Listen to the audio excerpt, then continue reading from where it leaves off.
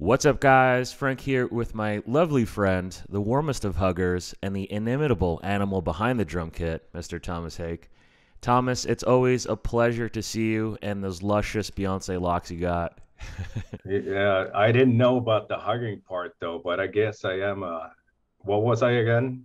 Oh, Uh, the, the, warm- softest hugger, the warmest, Warmest, hugger. yeah. Oh yeah, I give a good hug. I know. Yeah, I don't. It No. probably comes with practice. You know, years of doing it. Yeah, and intent. You know, you gotta wanna. You know, I love it. so well, I there you have- have it. how is Stockholm at the moment? It's like don't really frequent it that much. I just happen to live here. I go from my apartment to this, like the studio, this like Meshuggah headquarters, and that's kind of what I do on a daily basis. I just go back and forth between those two places. So Right. you would have to ask Stockholm how it's doing, and it, I don't know. Yeah, it's tricky. Well, I, I mean, I absolutely adore the city and really Sweden as a whole.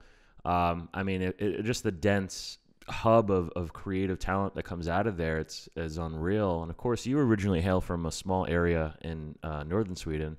Uh, I won't even pretend like I can announce, uh, pronounce the city, Yeah, uh, Örnsköldsvik. yeah, that. Yeah. Yeah, that one. Yeah. Can you tell us, uh, you know, what, uh, like, what was it like, uh, your upbringing in a place like that? I mean, first of all, the the city is about sixty thousand people. So by American, you know, standards, it's very tiny. You know, it's a it's an industrial city where, I mean, in the '60s and '70s, that was basically like you had the like the big industrial companies, and and most people actually worked in one shape or form for them, and. uh the the little community that I grew up in, and Morten, our guitarist, also grew up in the, this um, little place called Hörnet, which is about three kilometers outside of the, the the city. So this is suburbs by by Swedish standards, then, and and that had maybe like three thousand people, and most of them, most of the families when I grew up, had either parent like working at the factory that's nearby, which is a huge like paper mill. Uh, so but my parents didn't work with that my my mom was a teacher and um, my dad worked for a, a sawmill company as an engineer and kind of making drawings and blueprints and stuff like that so so it, it wasn't all like everyone didn't work like at the factory or whatever but most of our friends when i grew up like had usually like the the the dad would be working the factory and and the moms were doing other things but i mean it was it was a it was a very nice you know setting i guess to to grow up in. I i talk to my wife about this sometimes because she grew, grew up in, in brooklyn as you know and and and just the complete the disparity of like how we grew up. And for us it was like our parents like basically like kicked us out of the house. Like go out go go why are you home. Like go out go do stuff. Whereas her upbringing was almost the opposite because obviously it was more dangerous to grow up in, in brooklyn. It was more about staying at home and not going out at the wrong hours and stuff like that. But we were pretty we were pretty free to roam man. We we just did pretty much whatever we wanted and and we were just you know as kids who were just riding around on our bmxs and causing trouble you know? Well, it sounds like amazing, uh, like rural upbringing, you know. So yeah i mean it, it wasn't rural but it wasn't city either. So it was like it was like suburbia but but yeah it was it was pretty low key there wasn't a lot of nutbags though don't get me wrong. And and obviously with with uh, families that uh, predominantly worked the factory a lot of them also had you know problems like uh, alcohol abuse and stuff like that so i grew up with a with a bunch of people that like maybe didn't have like the the the, the nicest uh, safest homes like i did because i grew up very kind of safe and protective in that regard for my family but but a lot of them weren't kind of maybe it was a little more a little more hardcore in some families you know Right. Yeah. And and uh, I mean that kind of begs the question with a family who's working around the factory in such a small town in a small setting. How did uh, little Tomas get into music? At, you know, in such a small area. Yeah, I mean that was that was our my friends, man. I mean, first of all, I my my parents are also Christian, so we kind of grew up we were went to church a lot, and that's kind of when when I was introduced to music in a sense, and where I started like drumming and where I started like singing uh, and stuff like that. And uh, and uh, apart from that, like really early, I remember I was like probably four or five years old or something like that. We, me and my little brother, who's a, a year and a half younger than me, we we listened to Elvis. I remember mom and dad had Elvis tapes and and we would play that stuff until you could not hear anything from that tape anymore and and i remember we would even emulate we ob- obviously we didn't know any english so we would just kind of emulate the sounds like as little kids and, and elvis was actually kind of my first love as far as like music that kind of gripped me but that was at, at a very early stage obviously but then I grew. I mean, I grew up with with Morten and with a bunch of friends, and everyone was I mean, vinyl, listening to vinyl, that that was what everyone did. And and some of my friends actually got like alimony to buy vinyl and stuff. Um, whereas I didn't buy so much vinyl when I was a young kid, but but I had a bunch of friends that did. So we always kind of went to each other's houses and we would, you know, listen to. And it, obviously, when we were like maybe at around 10, we started listening to like the British Wave and and and also like Accept and stuff like that. But but Maiden and Sabbath and and stuff like that. And and uh, it was a lot of like I remember I would always like borrow albums from Morten for a while. I'd like take a, a pack from his house, and I would uh, sometimes you, you I would record him on tape, so I'd have him on tape or whatever, and and then return him. But we were a bunch of friends that that everyone was kind of really into just listening to music. So if we were not out on our BMXs, I was probably at Morten's or my other buddies' house, like listening to to something like that, you know, Black Sabbath or Iron Maiden or something, or or Saxon, or you know, up, up until you know, obviously like 83, 84 around there when like Kill 'Em All came out in 83 and and the whole kind of Bay Area thrash kind of just took over, and, and everything we had heard previous was now cheesy all of a sudden. right, right. So yeah, that's kind of that was the path that we took, and that's that's kind of how it started, man. Where did the drums come in then? Because like I mean, if if Elvis was kind of your first love, and you know, was it like the Elvis days that you started with the drums, or was it? Uh, yeah, I I started really really early. I remember uh, when I was younger, my my parents used to tell me about like sometimes they would find me in a closet, like they couldn't find me, but they heard me, and and they would find me like in a closet, and I would just I had found like a cookie jar or something that made a sound, and I would just sit in there like at age three, four, and just kind of bang on that thing, and and yeah, Elvis was early before I even had a drum set. When I was like five, six years old, I would set up. I remember I would. Uh, my mom was a piano teacher as well, so she had a piano. So I would sit on her piano stool, but the other way around, and I put chairs uh, all the way around, and I would put different like sounding pillows on the on the chairs and pretend they were drums. Uh, but I, I was only allowed to do that for a little while because obviously that that room got very dusty real fast.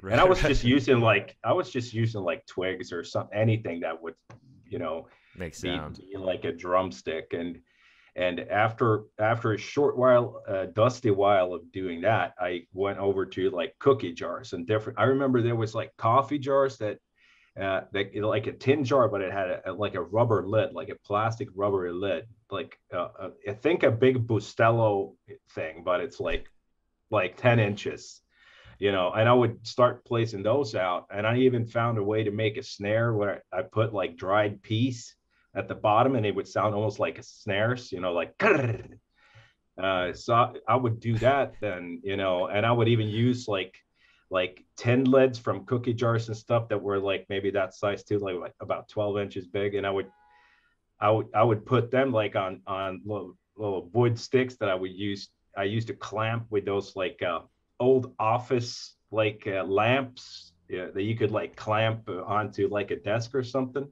Right, and I would right. put a stick in there and I would put a nail through the center of that that lid, that, that like that tin lid, and put a couple of those up, and they were cymbals, you know. That's amazing. So that I, yeah, I, I was just I was just fascinated with with drums as such and and drum set, and that started in church for sure because there was a drum set there, and uh, and the, the guy that played the drums that wasn't really necessarily a drummer at all and he played so loose. We don't have like the loud gospel type churches you guys have over there. So this was also this is the 70s so all the older uh, geezers at the church they hated drums you know they didn't want to hear that. But okay the youth you know kind of like that and so they he would play with the choir but he would only like side clicks and barely touching the drums like because they didn't want it to be too loud. So that's kind of how i started too just really really softly like at church. But i was that type of playing didn't interest me even from the get-go. I just loved the drum set as such. I was fascinated by the drum. And whenever we were at church and i was six years old i would just be staring at the drums like the drum set whether there was anyone behind them or not you know right. i was just intrigued by the instrument as such you know and, and then you know with with all these these few years of, of of hammering on pillows to cookie jars to slowly kind of starting to to be interested in playing at church. Uh, my mom and dad got me a drum set when I was like seven or eight years old. Uh, the first kit because we lived in a house, not a not a apartment, so we had our own house. So there was a basement, you know, so it was possible, even though we didn't soundproof it or anything. So they got pretty annoyed sometimes. Like mom would come down and like scream at me to stop because she was on the phone or something like that. But I remember, um, you know, when I first got my animal tattoo, uh, you were actually one of the first people to text me about it, and I believe you spoke about how, you know, animal was kind of like your your jam when you were younger, and it's just something that's always connected with you. Oh yeah, totally, man. I mean, you can imagine this is like right around that time, and and the Muppet Show was going in Sweden and and you see this like so he was really like he really inspired me early on to be not the meek church drummer that does side clicks only and barely even touches the cymbals he was like the complete obviously the opposite of that just going nuts you know and he, even though i mean you're so young so it doesn't matter whether it's a person or it's a or it's a a doll uh, it still has a, that impact on you. And and I remember also the episode where Buddy Rich came in and they had like a duel, yeah, Animal and Buddy Rich, and at that point it was like over, and I, it was like, how can you play like that? It shouldn't be possible, you know. I still watch like old Buddy Rich videos, and it still blows my mind that he was doing what he did. Oh yeah, yeah, it's it's quite inimitable. I, I mean, there there's maybe one or two guys today that can kind of imitate him but but that guy was you know off the charts. So so that you know all those things kind of gripped me. And then you know combined with with listening to more and more music and you start to like i i remember i i would play like iron maiden or something on the vinyl and and right next to the drum kit. And i had put like rubber feet like under whatever the cabinet that held it so it wouldn't like start skipping when i played uh, so that I started kind of trying to emulate what what Nicko McBrain was doing, you know, a little bit, and uh, and that's kind of how you know it kind of started becoming more of a more of a drummer in that sense. But it was a I wasn't like a natural. Like I I grew up and I I, I know there was a couple guys, but one guy in particular that's like a year younger than me, uh, who now plays with like Idol in Sweden sometimes, or he play. He's he's a very like uh, that's he makes a, a good living off of that. Uh, but he was like one of those naturals. He started playing uh, the drum set when he was like three, four years old, and we went to the same teacher. And uh, so I, I did have a teacher uh, for a little stint, but it wasn't really my gig. You know, I, I wasn't really into the, the whole learning notes and stuff and, and learning the the rudiments. I, I didn't really care about that. I just kind of want to wanted Rock. to bash on bash on the drums. Yeah, you know. But yeah, so I wasn't I wasn't necessarily like a natural. I just had a uh, a natural attraction to the drums more than a natural sense of how to play them. Right, and I think so that's a lot that, of a lot of drummers. I mean, myself included. You know, I mean, you got. I, I, think so. Yeah. yeah. I, oh man. What a. Uh, what was your first band like? Because that's you know a, it makes everybody cringe, but um, be, because of like you remembering your trajectory of your drumming, I wonder what your first band was like. Yeah, I mean, I grew up with Morten, uh, who was guitar one of the guitarists in, in Meshuggah, and we met at already at like six years old at kindergarten, and so we've been together like our whole lives like that and we even like went to the same we were in the same class at school throughout all school. And um and we obviously since he was a guitarist and he started playing guitar at a very early age too uh it was just natural that we would obviously try to you know our first trembling steps together as trying to make some music of our own you know and this would have been at like age 13 ish. Uh, and uh, and we had no clue what we were gonna like. How do you? So it's first year probably we instead of instead of writing anything, we just ended up like playing our favorite little snippets of songs that we knew, like not even whole songs, just like let's play that part from that song. Right. All right, let's play that part.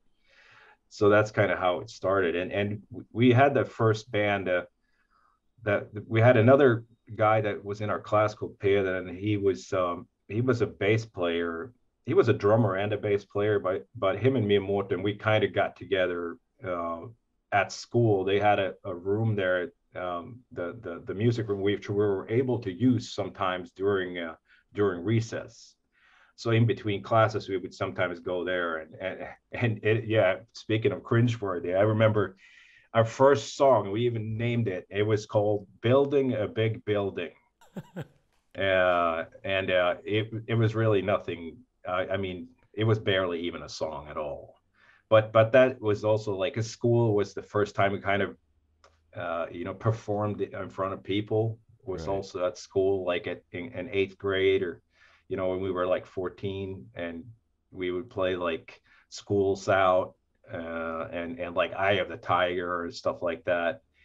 And I remember Eye of the Tiger, you know, those hits in the beginning, and and one hit is like delayed, and mm-hmm. I was mm-hmm. like so adamant when we were rehearsing it. You guys got to remember that because they kept forgetting that it's like delayed that one hit. But then I got so nervous that we played in front of the school, I missed that hit instead, and I, I just it was I just wanted to die, you know. Well, I think it's safe to say you've come a long, long way since then. Um, and I've always found it fascinating, you know, how Meshuggah works on music and, and the writing, especially, you know, with guitar players lending, you know, to the drums and you writing lyrics. It's it's a work bond and operation and I think that most bands don't have, you know. Were you always the primary lyricist in, in like every scenario in every band that you were in? No, and and you got to I I really I mean I was in you could say I was in three bands total I was in a Christian hard rock band for a little while during my teens. Uh, I didn't write anything for that. I was just a drummer, and uh, it was very kind of straightforward, kind of hard rock sounding. And then we had the band with Morten was that was called Barophobia, and and we didn't have a singer for that band. It was like all instrumental, uh, with a lot of kind of you know we grew up listening a lot to Rush and Marillion and stuff like that. So it was a lot of like odd meters uh, not the way we do it in Meshuggah nowadays. It wasn't any over the bar line kind of stuff. It was just more like sevens and nines and fives and stuff like that. And and uh, and um, no singers. So the the lyricist part that was something that that came once I kind of when I joined Meshuggah in 1990 and and uh, Neil Peart, I guess was the one that kind of opened my eyes to the fact that you can you can hack actually be like something other than the the vocalist and still write the lyrics for a band. And uh, i guess i just uh, when i joined meshuggah they didn't they didn't really want to write lyrics. They didn't they weren't interested in that. That was just like a necessary evil almost like you have to have some kind of lyrics right. uh, because we want to have vocals but they didn't they really weren't interested so much in, in writing lyrics. So so it was kind of a natural segue of me kind of taking over that you know more and more. They're great lyrics. I mean they're so like you you come off as really well read. And you know is that truth though? Like do you do you read a lot to kind of prep for for writing lyrics? I would say i used to for sure. You know i I don't think I've read a book in like five years now, which is kind of scary. No, that's not true. I did read a book that uh, that that my wife gave me, but it was like a one and a half hour read called Einstein Einstein's Dreams. Uh, but other than that, I haven't really.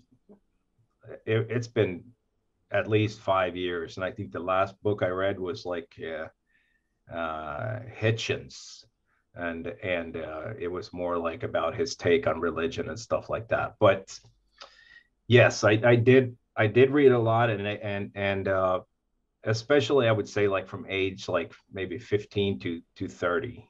Uh, th- those 15 years, I did read a lot, and I I tended to mostly read um, English authors or British or American authors in original language. So that obviously has helped me as far as the language bit, and and and obviously just just like uh, you know how you are as a musician how you are as a lyricist is also something you have to mature into. And you know o- over the years obviously you get like a little better at at kind of putting the the right words to the music and make it kind of fit. Because it's not just about the lyrical contents. It's not just about the music. You have to kind of make them kind of gel you know? So so you don't have like the lyrics that kind of feel wrong for whatever vibe the music has and stuff like that so so there's obviously all sorts of things that kind of come into that but but yeah those authors and stuff i mean when i was young it was mostly uh horror you know you know mm-hmm. clive barker dean koontz king stephen king you know stuff like that and, and then that would i would say mainly that kind of uh, those kind of authors in, in my and my youth and up until maybe like 20 25 and then i started kind of reading a little more of this and a little more of that. Anything from you know kind of robert anton wilson to to anthony hitchens or you know stuff that wasn't necessarily fiction. But but i i think i've always enjoyed fiction more and and just like movies i do enjoy horror so that it's always been like kind of the go-to place. But they i mean those authors especially maybe someone like clive barker had a real kind of way with with words and how he wrote some stuff was almost like poetic and not just describing um, so so uh, that is something i guess i kind of took to heart. And and morten being a, a part lyricist for meshuggah as well his lyrics are definitely like heavily infused with with that too. And he's even more he read he's probably read three times more books than i've ever read in my life. At this point i mean because you guys have been doing it for you know over 30 years do you feel that like your the lyric part is harder to put together than the drumming part? Uh, yeah that's man lyrics usually for me that's that's something that happens like uh, or it has been at least it's something that happens like once a year or, or once every two years you have like this just inspired and, and i would write maybe a whole bunch of them uh, not necessarily for a specific track or for even for specific music but just kind of vent that onto onto paper um, or computer in this case. But uh, so there's always like there is a like a trove there of like lyrics that that date back to maybe like 2005 2008 at this point that that were never used for anything. Um, but i i have found that that over the last few albums i i tend to write a little more after the fact. When you start having like a track and you kind of oh okay this is what i feel you start caring more i guess with with with age or maturity, you start kind of caring a little more about getting exactly that to actually make it gel like that, you know, to right. to make the lyrics really kind of seem like they fit with the music vibe wise and obviously like rhythmically and and and all that stuff. So so I I have started to write more like once the music is done, I kind of start, you know, writing lyrics for that piece. So so for the last album I, I, would say probably half of them were that i that i wrote for the album was existing pre-existing ones that you then just kind of go in and change and change maybe the length of the uh, the the lines and whatever and, and to make it fit you know rhythmically with the track or whatever eh, or and the rest of them were probably like just listening to the song and kind of figuring out what you how you want like sometimes it's even down to like syllables like uh, okay i need to find something that's four syllables not, not the five that i have on this. So you kind of it's a lot it's it's a lot of work actually and and um, programming drums when we make music because that's kind of how we do it. When we write we, we just program it all first and i don't even try to play it until like a whole album is done and then we then we start rehearsing this stuff you know? Right. so so in that sense and having done that for such a long time programming drums comes easy you know? It's the learning them it's the hard part right? yeah it's the it's the you know once you you know you got to start rehearsing them that's when you usually run into problems you know? It's like what the? But i mean usually yeah everyone in the band has a very good sense of of of drumming and drums so whoever writes the track usually writes the drums too and programs the drums so it's not like on me to make the drums for every song. It's usually I, I program the drums for the songs that I'm involved in, but Morten writes a track, Jens writes a track, Fredrik writes tracks. They program the drums, and I just basically emulate whatever they want on their. Um, and it's usually since they have a good sense of, of of of drumming and what you can do, they they they really never go like over the top as far as like that. You can't play that. Yeah. I, I mean, bleed Yes. That was a hard one for you. Uh, I remember that. Yeah. Oh man. So yeah, but but otherwise, I would say. It, but I remember, you know, I know that yeah. much because, like, as guitar players, they write like inhuman shit, and then they give it to you, and like, this isn't, you can't do this. It's inhuman, you know. so. Um, yeah, I think you probably experienced that more than I did, though, because we've been the same band for so long that you kind of okay, you know they yeah. they know what I can do and that they know what I can't do, you know. Right. Yeah. yeah. Well, I mean, I guess that makes sense. I mean, the lyric part, lyrical part is, uh, I think it changes every time, and maybe that's what makes it a little bit harder. Is that you kind of go in with a new set of eyes, a new project. Um, and on that note, I mean, you know, the new record, uh, Immutable, is is such a ripper. Um, it's been an amazing ride to watch Meshuggah kind of grow to be one of the greatest and most respected bands in history, and you know, I know that you like to keep it interesting with everything that you do. What is something that you try differently on on this record? With the years that we put in, and and still kind of the way I see it, we're still kind of on this same kind of lateral journey, you know, from from what is mainstream metal, if there is such a thing in this day and age. But but so you do tend to kind of uh, you have this niche and you know that you're like you're you're going to want to stay in there. We want to keep sounding like Meshuggah. so obviously with each album it, it gets a little harder to come up with stuff that that intrigues us and that we all feel like wow this is something new. We've never sounded like like exactly like this before. This is a yeah you have ingredients that that sound the same and and you have like obviously a lot of a songs a songs you have like that the chugging like that kind of uh, power chord chugging and stuff like that. And and that's obviously something that we have to reuse. And we still have bass drums and snares and cymbals and we have to reuse them. So there's only so much you can do but but we really try uh, our best to to kind of make every part hopefully with this album i feel that too we, we really try to make every part and every track different than something that we've we've ever done before. And even though to maybe to outside people it may not seem like that drastically different or anything and it's not drastically different i guess but at least it's something that like it has to be something that we feel like like this is new. This is i haven't heard us do this before.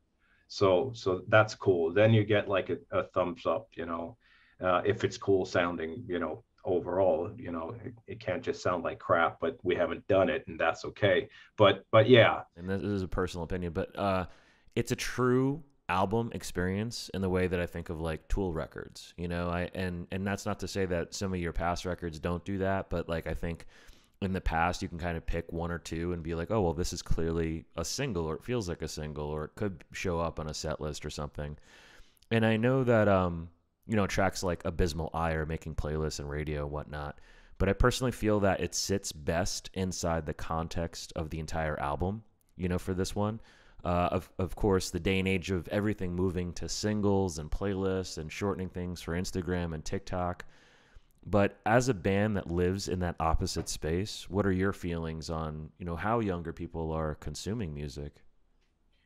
Yeah, I mean, I mean, first of all, there's not much you can do about it, and and I I think in this day and age, it's not even just younger people. I think, but I do understand what you mean, and we do. We're old school, so we definitely still write an album as an album meant to be listened to from start to finish, and and that is another thing that we do put a lot of effort and thought into, not just like the the tempos of the songs you know going from one to the next but also tonalities and vibes and and kind of where you what kind of trip do you want to take the listener on? And like you said i will agree that i think that this album we maybe took that a little further than we have had in a while using like really calm guitars and stuff like that to kind of create dynamics and and kind of you have like at the midpoint of the album it's like a, a long uh, instrumental track uh, that's a little sludgier, almost like one foot in stoner almost, and and mm-hmm. uh, that has like a calm guitar um, um, intro and using those tools to kind of just wash out the ears of the listener, you know, and and then take you then you turn into something this like maybe something extreme and then you take it down a little bit and then you have some, a black cathedral that's later on the album that's just like tremolo picking black metal style guitars with like 20 overdubs that's just like a but there's no drums and no vocals or anything. So so we we just use them as a tool to kind of make an album take this kind of journey. And and i agree like yes Abysmal Eye yeah it's a cool track but i to me also it makes more sense when you come from this track and you go from Abysmal Eye to this track and and then then it makes a little more sense. And I mean, the track by track that people are doing now, it's it, it's fine, I guess. You know, so you have to obviously you have that in mind too. So the tracks will, uh, you know, hopefully be strong on their own as well. And, and, that's what I think. At least that's how I feel about this album. That I, I I do feel like the tracks on the album are are very strong on their own as well. I like all the I really love all the tracks on the on the album how they came out. So and that is different. I don't think I've ever felt that with an album before. Uh, usually, there's like one or two tracks that you're like, ah, oh, filler much. Right, you feel right. like ah, oh, like or or it's like it's got like a cool start to it or something, but then you kind of drop the ball and it turns into like some wishy-washy. I don't know something something. Right, right. So so that's usually how how we all feel with every album. I think when when when you've just completed a new one, there's always this sense of, oh yeah, yeah, you know, seven out of the nine, nine tracks or whatever, they, they came out pretty good, but then yeah. So, but I don't, I don't feel like that uh, about this album, and that's kind of funny considering it's definitely the longest album we we put out. Yeah, I was gonna say it's. I mean, you you. I guess you have to do that. You know, like you were talking about, kind of washing the ears of the listener. With such a long record, you had a lot of space to cover, and and it ha- you know it had to grasp people in different ways and different turns in order to stay interesting the entire time. And it absolutely does that. You know, it's like some of the best work I've ever heard you do, sonically, uh, musically. You know, uh, playability. Uh, it's crazy to think how hard you're going after all this time, you know? Uh, I was actually with Mario of Gojira a few years back, and he mentioned how the band has intentionally kind of slowed their direction in a way in small increments with the understanding that he wouldn't be able to play at full capacity, you know, these crazy drums when he's older. And then there's you, who, who you know, are 10 years older than him, going harder and more insane than ever. Does the thought of slowing down ever really cross your mind? Oh yeah, it does, and and it definitely. Uh, I mean, there's definitely challenges to to playing some of this stuff for me. Um, another another thing that kind of comes in with that is just it's not just age and your your your uh, kind of your physical ability, but as a drummer, I've never I never learned to play efficient. I I use like I use too much effort and and kind of oomph when I play. And, and even though I've dialed it down, you know, from when I was like 25, uh, it's it's still like I wish that I could just like, you know, really like just tone it all down because it would be so much easier for me uh, physically. Uh, but but but you know i've tried but it's just like it's not in me you know? I and i it's kind of what i grew up with too and like the the drummers that i grew up with. If i watch a drummer live you know if you even if you're on a festival stage or something some drummers just have that like you can feel it. It, it it's it's a very physical thing obviously it's drums.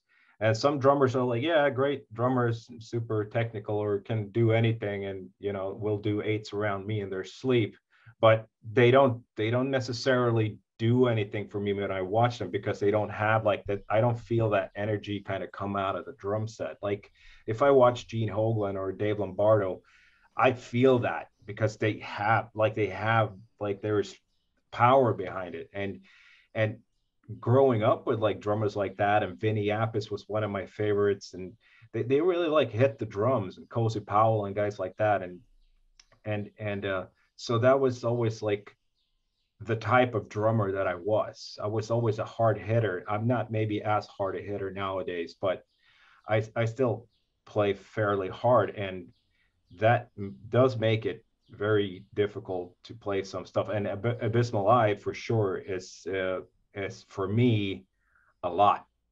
And, and even when we recorded it uh, for the album, I don't think I played it the whole way through. I, I gotta. I don't think I played it the whole way through. Actually, um, I think we just did it in chunks. So, but we did rehearse it obviously before the album. We did rehearse it, you know, many times, and we went all the way through it. But now also having not really played live since 2000, August of 2019, and we just started rehearsing a few days ago, and like th- literally 30 45 seconds into it i'm like oh my god i think i'm gonna die you know? Right. so uh, but obviously i haven't played really since we recorded the the, the album in april. I barely even touched a drum uh, in, in 11 months. So that was kind of expected as well you know that you you're gonna have it's gonna be a steep like kind of a rough kind of getting back in in drumming shape uh, this time around. But you know it, it's definitely I mean, with age, I, it, it's obviously not getting easier. And I think we kind of have it in, we kind of think about it, you know, kind of toning things down a bit to see where we, you know, just like Mario Gojira, where you feel like, yeah, but if you want to be able to play this in 10 years, you know, I mean, I, I don't really, I don't know how I'm supposed to play like bleed in 10 years. I really don't know and that that also like kind of introduces a slight problem there because that's like our Raining Blood you know? So it's like how do you how do you just like yeah we're not playing it. When you have like 30% of the kids there are there are there for that song and then they might as well leave you know? So right. yeah you do you do have that aspect and you do i do think about it and and obviously it's uh just gotta kind of you know i i just try to stay positive and just like yeah I can do it. Yeah. No, I and that's the it. right I think that's the right attitude. You know, you're a fucking incredible drummer and it's really, you know, I think I always say like drums are, you know, uh a, a combination of mental uh, mind and body. If you can like play it here, you could probably play it here, you know? So, uh yeah. I I think you can do it. But, you know, you did bring up something that you haven't played um in quite a while and the last time I saw you uh, actually was on my birthday in November, and, and thank you for being there. Um, you know, we briefly spoke about your your hands and your medical condition, and it's not something I ever considered talking about publicly. But you know, just the other day, it, was like the biggest news all over. Um, and uh, you know, I wanted to see if there's been any progress because I know that you've been taking it seriously, and it sounds like you're you're recently got back to playing though. Yeah, I mean, yeah, I had this problem started like two years ago uh, in January of 2020. I started getting eczema on the inside of my hands. Obviously, perfect for a drummer, but I mean, it's perfect for anyone because you we all need our hands to function for for just day to day life. So it's not just about like an annoying thing uh, to to play drums and to have this condition. It's annoying for everything you do, and I'm probably one of the few people on earth that did not put uh, alcohol in my hands at all once during the whole pandemic thing because I physically couldn't. I would have I would have probably fainted because I used to have all these cracks and stuff in my hands because of this uh, skin condition. But it's actually yes, it's getting better and and knock on wood. Uh, over the last like week, it's been getting a lot better and and and and hopefully it's going the right way. And and this is. Um, I talked to a, a nutritionist actually because I've been through all the the like I've seen I don't know how many doctors and and places I've been to since this started. And and we've done all the tests that you can do as far as like contact eczema and the whole like on your back all those patches and stuff. I did, that twice. And uh, I went to like a psoriasis place. They started, they thought initially that it was like psoriasis related. So I had like 30 sessions of UV, uh, UV light kind of sessions for my hands. Nothing helped. Nothing has done any anything, you know. So so uh, uh, a buddy of mine, a drummer buddy here in Stockholm, suggested I talk to this guy that he knew uh, that who is a nutritionist for one of the one of the um, uh, soccer teams here in Stockholm. And and so I called him up and we we spoke like a probably about an hour and a half and I described like how it all started and kind of how it what kind of life I live and, and all that stuff and and and uh, he basically told me start eating Q10 coenzyme Q10 because that's I think there might be something there like uh, you're you're not producing this this stuff enough and that that will have an effect. Because i also started losing my hair and stuff like that uh, way faster than i have been. So i i figured i figured this is a, this is connected. This is and i've known or felt all along that this was not contact allergy related at all because i tried like everything and i i used these like cotton gloves for months on end where as soon as i you know were touching anything like as far as keyboard mouse anything that you would like uh, come in touch with on a daily basis I, I, was using gloves and it didn't do any difference either. So so i was always like my belief was always more that it's internal something and and actually after now this is the day number five or six of of taking q10 and it's way way better. So uh you know knock on wood yeah, but but if it keeps going like this it's it's definitely going in the right way yeah for sure Amazing. I'm I'm so glad to hear that. I mean, but that must have been frightening, right? Like, I mean, to for it to come out, like, how did that even begin? It just like one day, it just. Yeah, man, it started. I remember we were uh, we were at a hotel in in uh, in Venice Beach after right after the NAMM show 2020, and and we were watching movies like in bed, and I was holding this uh, tablet in mine uh, that has like a fold out thing. So I was holding that for a few hours. And the day after it actually started, just like it started like a contact eczema, uh, right. And those points where I, I would be, where I'd been holding this tablet kind of thing. So it, it's just started on my two index fingers and my thumbs, right where, and then but over time it changed into something else and it started spreading like all over my hands and stuff. And and and so it went from maybe it started because of like something going on with my immune system or something. Maybe it started as a contact eczema. That was like the triggering thing. Mm-hmm. but then it was something else that made it not go away but turn into this kind of like turn into this monster inside my hands. And and ob- obviously yeah it was really scary man because I mean, I basically haven't, apart from when we rehearsed for the album, which would have been maybe like a month that we put that we rehearsed before the album, and then actually recording the album. I haven't really played any drums at all since August 19. Uh, so, uh, because to to play, I have to like really severely like tape like all my fingers and thumbs, and I have to put uh, both hands in, into gloves uh, and and then use grip tape on both sticks. Mm. Uh, and I have been using a, a, a like a, a, a stick wrap a stick wrap like thing on the on the right stick and a glove on my right hand for for a bunch of years but that's more to relax my arm and not use so much force to kind of hold on to the stick Right. So that's more. I started doing that more for kind of ergonomic reasons than anything else. But but this now turned into like something I have to really, really, really tape everything up and. And, and the scary part is it's one thing to do that when you're in rehearsal and you can just like, I stop, stop, stop. I gotta, I gotta retape this. And you take your gloves off and you can take it. And, and same in the studio, you know, you can take whatever time you need.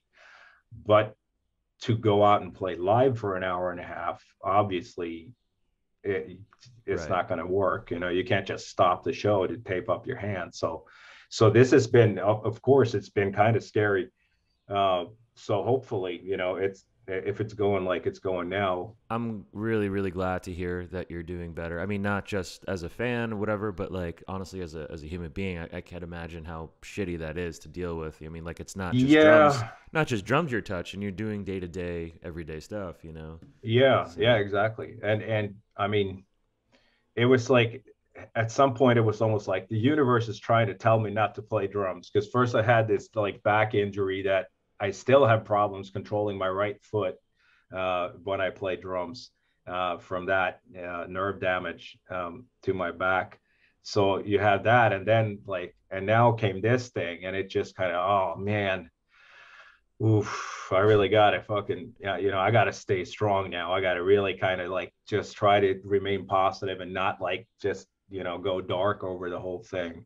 And, and I didn't. I, I really kind of just, you know, uh, not shrugged it off is the wrong word because I did go to see a lot of you know different people and and and dermatologists and doctors and stuff. And the, the problem is I see it's a little annoying uh, is that like general care when you go to a hospital and stuff unless you really like pay a, sh- a shit ton of money to go see like uh, people that will care about you properly because you pay them to care about you uh, regular care um, at a hospital, they they won't really look at like everything that you tell them, and they, they have their certain way of like, yeah, but we do these tests like this because this is how we do them.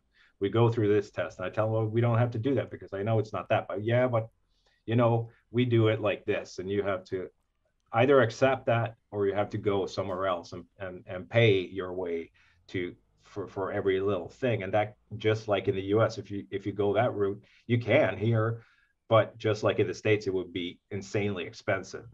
Right. Um, so so, but it is a little annoying that they don't really look at it holistically. Like mm-hmm. it was not really much interest or talks about like the the kind of life I live, what I eat, like what I could be missing if there's something that's missing and and and stuff like that. So, it, yeah, that's that's a little uh, that's a little annoying sometimes in this case, and that's if nothing else, it's what made it take like two years before you know I talked to the right person about this.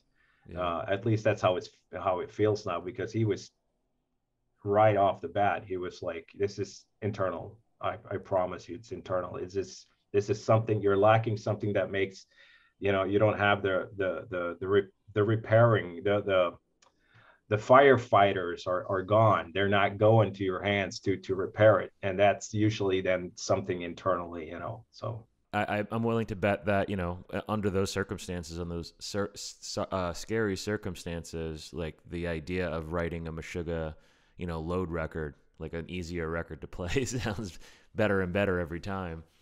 Yeah, um, but then again, you know, we're not we're not we're not about that you know us yeah you know? i know i mean we couldn't even we even i mean we're so bad at doing that that we even made a great album when we were just gonna make something to get us out of a record deal we were initially for catch 33 in 2005 we were just gonna first send them like a sinus note for like 40 minutes and say okay here's the last because the the the old contract that we were on was so shitty compared to like where we had gotten as a band. It was like just ridiculous because we basically got no money at all. Yeah. Um, so we wanted out of that contract to to sign a new contract that we would you know with everything you know a better contract basically. So we started just like yeah let's just well let, let's just write some spoofy stuff or whatever and that actually turned into Catch 33 like a 45 47 minute track uh, that is that is still, you know, kind of boggles my mind sometimes that we actually did that. So it actually turned it. So we were we're not the, the right people to to go and and uh, yeah. uh, make a load album, you know. Right, right. You're not phoning it in at any point. That said, you know, we have, um, and I, I, love like different people have this kind of idea of, of their cheats or whatever. Uh, we actually have a couple of uh, chef, mutual chef friends uh, who create these culinary masterpieces and then go eat McDonald's on an average day.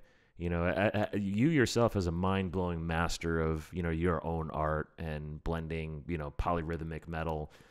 What is the McDonald's of music for you that you listen to? I don't know if I have McDonald's exactly, but uh, it would just be like very different from what we do. Like I, I tend to kind of go back in, in time when I listen to music, and I have a totally in the last like ten years, I have a totally new appreciation for the '80s.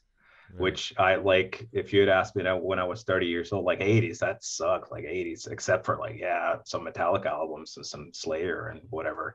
But no, it's like the cheesy music of of of that era that really, if it that could be uh, uh, anything from from you know Alphaville to Depeche Mode to to uh, Tears for Fears or Duran Duran. You know, I, I I love that kind of stuff. I don't really have the album, so I wouldn't say it's my go-to place, but I do love it, and I do play it uh, like that kind of station on in my car all the time. Uh, so in, in my car, I never listen to metal. I mean, very very rarely and if I do, it's maybe not something that's the most aggressive. It would be like a Mastodon album or something like that, or or it would be old school, like some Dio stuff sometimes, and and and Rush and and Pink Floyd and stuff like that. But but I never, you know, you know me, and you know my wife, and you know she's like one hundred thousand times more a metalhead than I am, you know. Right. So so I I don't I don't I don't think I have a, a um, um, McDonald's per se, but but uh, uh, it's, That's when you're breaking out that ABBA, the old ABBA records. oh, I love I love that too, man. That I mean, uh, obviously we're I'm Swedish. I, we grew up with that, so yeah. ABBA has a very very dear place in my heart for sure. Absolutely, 100. percent Fucking yeah. I wasn't like it was I wasn't super stoked about the new album, but I, I think it's kind of fascinating that they actually did it, yeah. actually made a new album. I mean, they're up there now. So um, yeah. But the old albums, yeah, holy shit, man. Tomas, it's uh, you know, I- will let you go. I know we're at the end here and you got places to be, but you are truly a king amongst men. Uh, with your humility, your kindness, your friendship is is never something I've ever taken for granted. Uh, I wish you nothing but the best. And it sounds like your recovery is going great. I really hope that it goes over really well and you get back to it and back on stage. And uh, it's truly a pleasure to see you. And I hope that we can grab dinner sometime soon. And, and I'll see you in the you know the states at some point when you're playing. That sounds good to me, man. And yeah, fingers crossed about the fingers, so so to speak. And uh, and it, yeah, you're almost making me blush here, man. Yeah, thanks a lot. I appreciate that. Uh, anytime, man. and and dinner, of course, it's on me or on my wife in that case. No, no, no. you know, I swear I'll pay for it.